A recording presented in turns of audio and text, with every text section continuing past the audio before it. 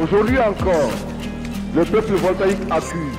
Le peuple voltaïque accuse et exige la mise en application du verdict populaire pour la réalisation de ses aspirations profondes.